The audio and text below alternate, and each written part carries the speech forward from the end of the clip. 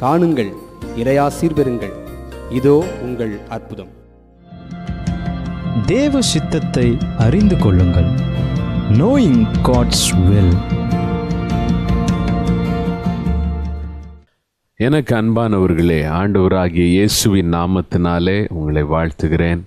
இதோ உங்கள் அற்புதம் நிகழ்ச்சியை காண உங்களை அன்புடன் வரவேற்கிறேன். நீங்கள் சுகமாயிருப்பீர்கள் என்று நான் விசுவாசிக்கிறேன். இந்த நாளிலே ஆண்டவர் உங்களோடு பேச விரும்புகிறார். விசேஷமாக நீங்கள் உங்கள் ஆத்துமாவிலே வாழ வேண்டும் என்பதுதான் இந்த நிகழ்ச்சியின் நோக்கமாக இருக்கிறது நம்முடைய ஆவிக்குரிய வாழ்க்கை வளரும்போது செழிக்கும்போது வேதம் சொல்லுகிறபடியாக உன் ஆத்துமா வாழ்வது போல நீ எல்லாவற்றிலும் வாழ்ந்து சுகமாய் இருக்க விரும்புகிறேன் என்று சொல்லி எல்லா பகுதிகளிலும் ஆண்டவர் ஒரு ஆசீர்வாதத்தை உங்களுக்கு கொடுப்பார். இன்றைக்கு நாம் பார்க்க போகிற காரியம் தேவனுடைய சித்தத்தை நாம் அறிந்து கொள்வது எப்படி? மிகவும் முக்கியமான ஒரு காரியம். இன்றைக்கு ஆண்டவருக்குள்ளே வந்து ரட்சிக்கப்பட்ட ஆண்டவரை அறிந்து கொண்ட ஒவ்வொருவருக்கும் தேவன் ஒரு திட்டத்தை வைத்திருக்கிறார். அதை நாம் கடந்த வாரத்திலே பார்த்தோம்.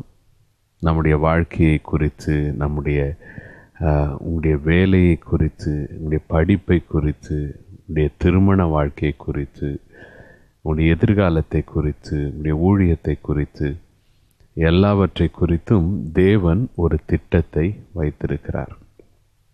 யோசித்து பாருங்கள் வானத்தையும் பூமியும் படைத்த தேவன் அவ்வளோ பெரிய தேவன் நம்மை குறித்து தனிப்பட்ட வி விதத்திலே நினைத்து நமக்கென்று திட்டத்தை வைத்திருக்கிறார் என்றால் எத்தனை ஆச்சரியமான காரியம். இது உண்மை இது நிஜமான காரியம். ஏசைய நாற்பத்தி ஐந்தாம் அதிகாரத்திலே பதினோராம் வசனம் சொல்லுகிறது இஸ்ரவேலின் பரிசுத்தரும் அவனை உருவாக்கினவருமாகிய கர்த்தர் சொல்லுகிறதாவது வரும் காரியங்களை என்னிடத்தில் கேளுங்கள் என் பிள்ளைகளை குறித்தும் என் கரங்களின் கிரியைகளை குறித்தும் எனக்கு கட்டளையிடுங்கள். இங்கே ஆண்டவர் மூன்று காரியங்களை சொல்லுகிறார். முதலாவதாக அவரே நம்மை உருவாக்கி இருக்கிறார் சங்கீதக்காரன் சொல்லுகிறார் அல்லவா என் கருவை உம்முடைய கண்கள் கண்டது. ஆண்டவர் நம்மை உருவாக்கி இருக்கிறார் அதனால் என்ன? ரெண்டாவது பகுதி ஆண்டவர் சொல்லுகிறார் வரும் காரியங்களை என்னிடத்தில் கேளுங்கள். ஆகையினால் அவர் நம்மை உண்டாக்கியிருக்கிறதைப் போலவே நமக்காக ஒரு திட்டத்தை நம்முடைய எதிர்காலத்துக்கு உண்டாக்கியிருக்கிறார். அந்த தேவ சித்தத்தை அறிந்து கொள்ள நாம் என்ன செய்ய வேண்டுமாம்? அவரிடத்தில் கேட்க வேண்டும். அடுத்தது மூன்றாவது பகுதி அந்த வசனம் சொல்லுகிறது. என் பிள்ளைகளை குறித்தும் என் கரங்களின் கிரியைகளை குறித்தும் எனக்கு கட்டளையிடுங்கள் தேவ சித்தத்தை நாம் அறிந்து கொண்ட பிறகு நம்முடைய வாழ்க்கை தேவ சித்தத்தின்படி அமையும்படியாய் நாம் செபிக்க வேண்டும் நாம் கட்டளையிட வேண்டும் நாம் விசுவாச அறிக்கை செய்ய வேண்டும். ஆகவே இந்த மூன்று பகுதிகளை இந்த வசனத்தில் நாம் பார்க்கிறோம். முதலாவது தேவன் நம்மை உண்டாக்கியிருக்கிறார். ரட்சிப்பின் மூலமாக நாம் மறுபடியும் பிறந்திருக்கிறோம். இரண்டாவதாக நம்மை குறித்து ஒரு திட்டத்தை தனிப்பட்ட விதத்தில் வைத்திருக்கிறார். அதை நாம் அறிந்து கொள்ள வேண்டும். அப்படி என்றால் அவரிடத்தில் கேட்க வேண்டும். மூன்றாவதாக அந்த சித்தத்தை அறிந்து கொண்ட பிறகு அதற்காக அதை நிறைவேற செபிக்க வேண்டும். பிரயாசம் எடுக்க வேண்டும். விசுவாசத்தோடு நாம் அறிக்கை செய்ய வேண்டும்.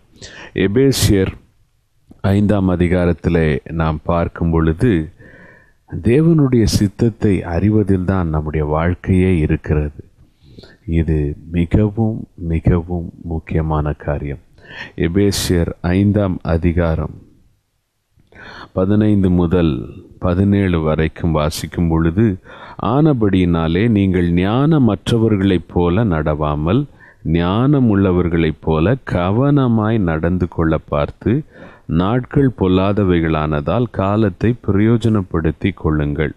ஆகையால் நீங்கள் மதியற்றவர்களாயிராமல் கர்த்தருடைய சித்தம் இன்னதென்று உணர்ந்து கொள்ளுங்கள். இன்றைக்கு ஆண்டவரை நாம் அறிந்து கொண்ட பிறகு ஆண்டவர் சொல்லுகிறார் நீ ஞானம் இல்லாமல் இருக்கக்கூடாது. நீ கவனமாக இருக்க வேண்டும். காரணம் இந்த காலங்கள் பொல்லாத காலங்கள் கடைசி நாட்கள் இதிலே நீ கவனமாய் நடக்க வேண்டும் ஞானமாய் நடக்க வேண்டும். அப்படி என்றால் என்ன செய்வது? கத்தருடைய சித்தம் இன்னதென்று அறிந்து அதை மட்டும் நாம் நம்முடைய வாழ்க்கையில் செய்ய வேண்டும். தேவனுடைய சித்தத்தை மாத்திரம் நாம் செய்யும் பொழுது அதுதான் ஞானமாய் இருக்கிறது. ஆகினால் தேவ சித்தத்தை அறிந்து கொள்வது ஆண்டவர் அவருடைய விருப்பமாக இருக்கிறது. அதை வெளிப்படுத்த விரும்புகிறார். நாம் தேவனிடத்தில் கேட்க வேண்டும். ஆண்டவரே உம்முடைய சித்தம் என்ன? சவுலை தேவன் தமஸ்கு சாலையிலே சந்திக்கிறார். ஒரு பெரிய வெளிச்சம் அவனை சந்திக்கிறது. சவுல் கீழே விழுகிறார். அந்த வெளிச்சத்தை பார்த்து அவர் கேட்கிறார். ஆண்டவரே நீர் யார் என்று சொல்லி. அதற்கு முன்பாக அந்த வெளிச்சத்திலிருந்து ஒரு சத்தம் வருகிறது. சவுலே சவுலே நீ ஏன் என்னை துன்பப்படுத்துகிறாய் என்று சொல்லி. சவுல் கேட்கிறார் ஆண்டவரே நீர் யார்? அதற்கு அந்த சத்தம் சொல்லுகிறது நீ துன்பப்படுத்துகிற இயேசு நானே. முள்ளில் உதைக்கிறது உனக்கு கடினமா இல்லையான்னு கேட்கிறார். அப்பொழுதுதான் இந்த சவுல் தன்னை ஒப்பு கொடுக்கிறார். அவர் சொல்லுகிற முதலாவது காரியம் என்ன?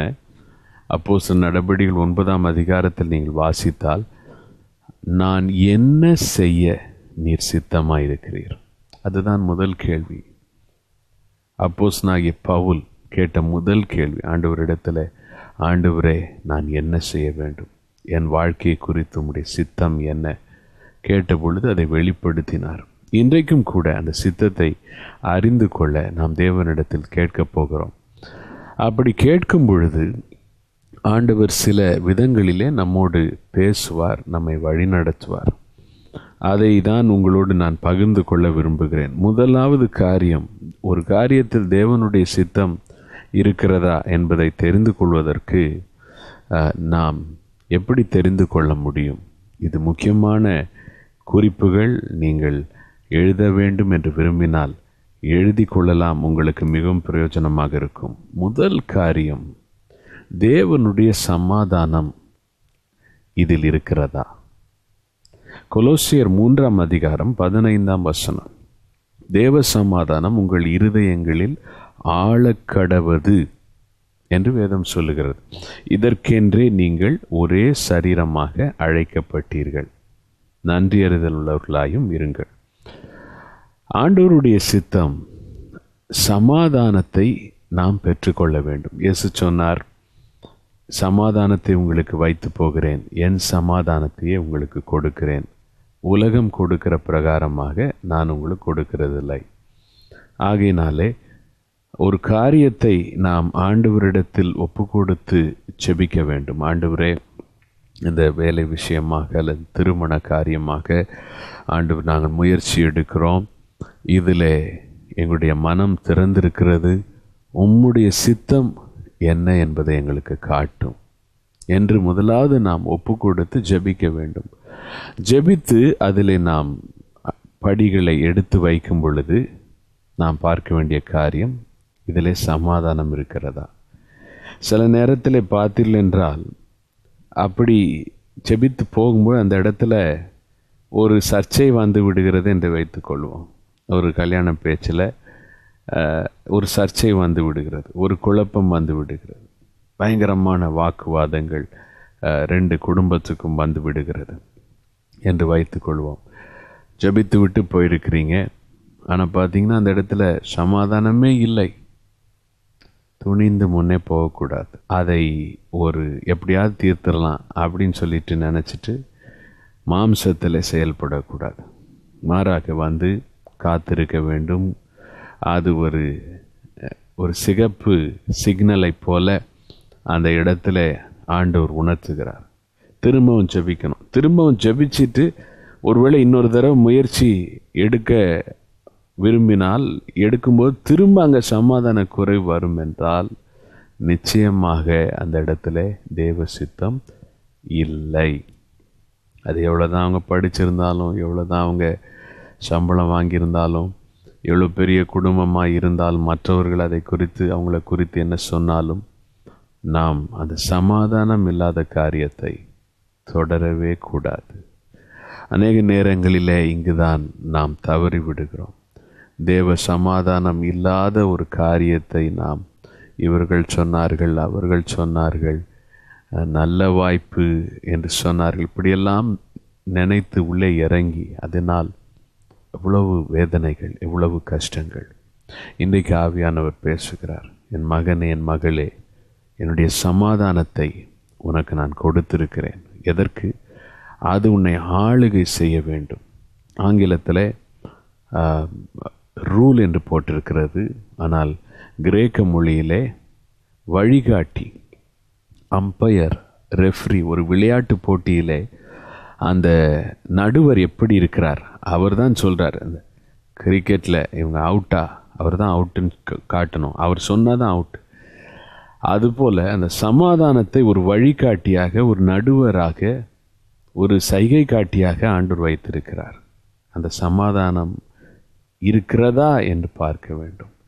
அந்த சமாதானம் இருந்தால் மட்டும்தான் நாம் அடுத்த ஸ்டெப்புக்கு போகணும். இல்லை என்றால் நாம் ஜாக்கிரதையாக இருக்க வேண்டும். இரண்டாவது காரியம் தேவ சித்தத்தை நாம் அறிந்து கொள்வதற்கு இரண்டாவது காரியம். இது மிகவும் மிகவும் முக்கியம். ஏசாயா எட்டாம் அதிகாரம் இருபதாம் வசனத்தை வாசிக்கும் பொழுது அங்கே தேவ சித்தத்தை ஒரு காரியத்தில் நாம் அறிந்து கொள்வதற்கு இரண்டாவது படியை வேதம் நமக்கு சொல்லுகிறது. ஏசாயா எட்டு இருபது. வேதத்தையும் சாட்சி ஆகமத்தையும் கவனிக்க வேண்டும். இந்த வார்த்தையின்படியே சொல்லாவிட்டால் அவர்களுக்கு விடியற் காலத்து வெளிச்சம் இல்லை. ரெண்டாவது காரியம் வசனம் என்ன சொல்லுது? அதை கவனிக்கணும். அதை கவனித்து நான் இப்பொழுது எடுக்கிற முடிவு வசனத்துக்கு ஒத்திருக்கிறதா? வசனத்துக்கு ஒத்திருக்கிறதா இல்லையா? பாருங்கள் வசனத்துக்கு ஒத்தில்லாத ஒரு காரியம் ஒரு நாளும் தேவ சித்தம் ஆகவே ஆகாது. உதாரணமாக வேதவசனம் தெளிவாய் சொல்லுகிறது அந்நிய நுகத்திலே அவிசுவாசிகளோடு பிணைக்கப்படாதிருப்பீர்களாக.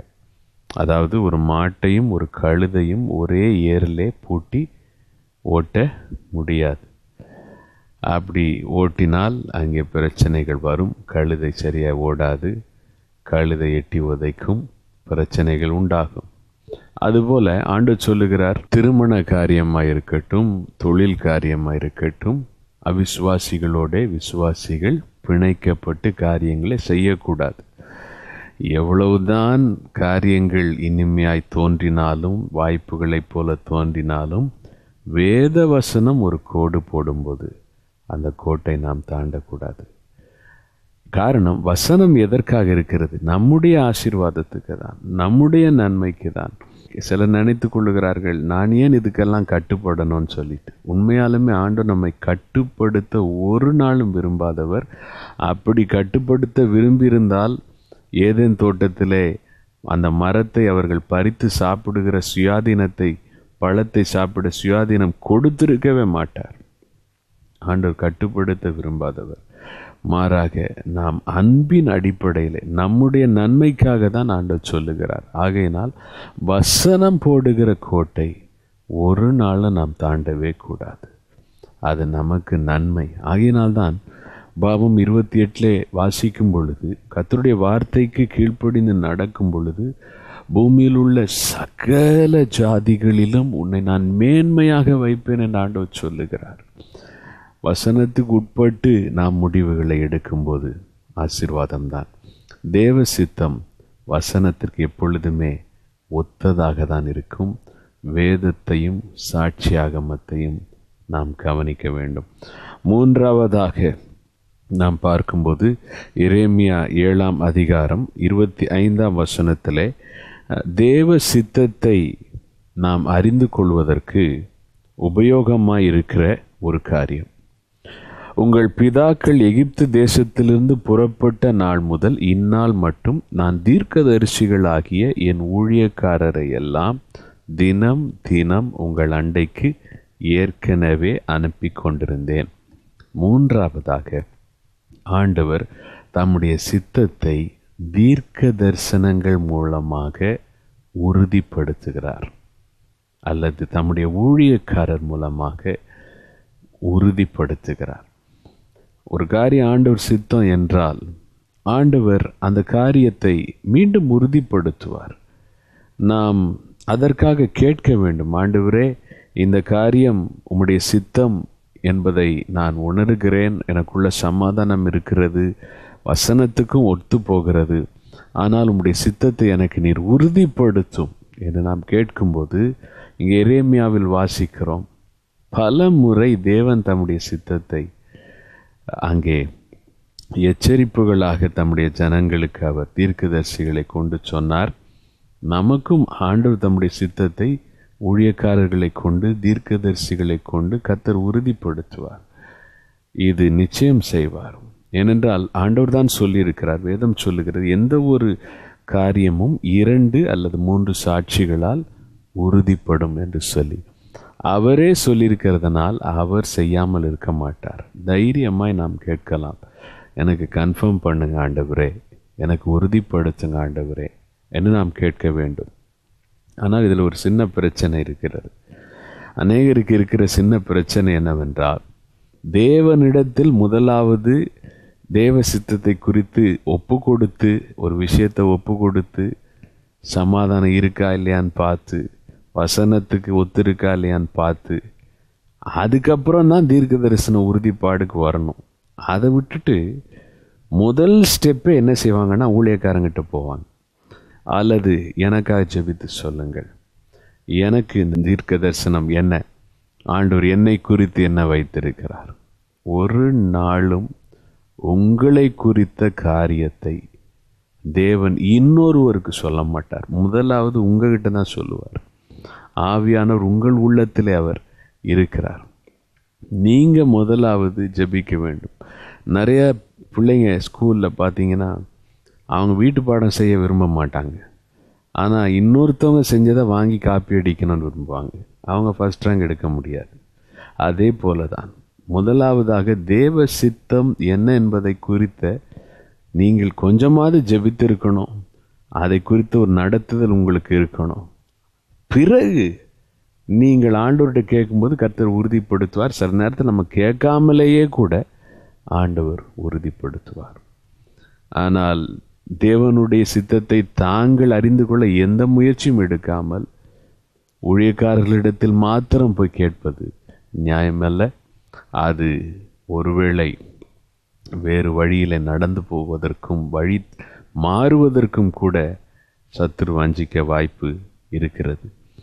நான்காவதாக காரியம் வேதத்தில் நாம் பார்க்கிறோம் ஒன்று ராஜாக்கள் பனிரெண்டாம் அதிகாரம் ஆறாம் வசனம் முதல் எட்டாம் வசனங்கள் வரைக்கும்.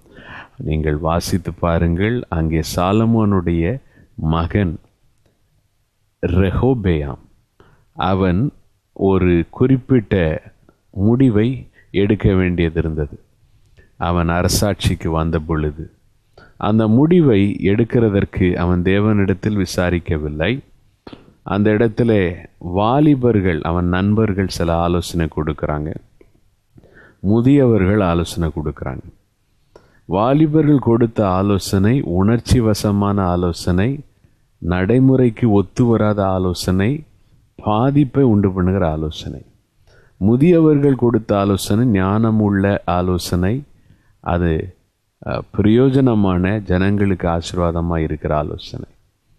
இவன் அவர்கள் கொடுத்ததை கேட்காமல் வாலிபர்கள் கொடுத்ததை கேட்கிறான். அதனுடைய விளைவு என்ன?